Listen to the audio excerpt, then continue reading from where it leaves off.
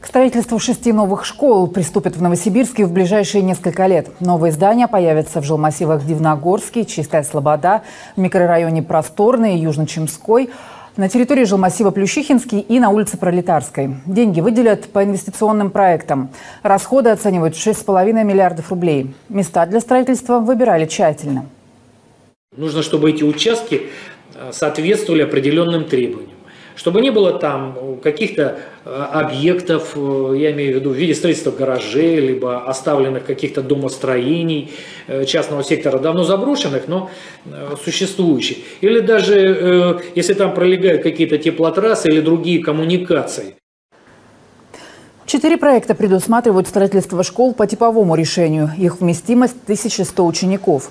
Еще два здания по уникальным проектам рассчитаны на 825 и 550 школьников. Город получит дополнительно почти 6 тысяч мест для обучения детей в одну смену.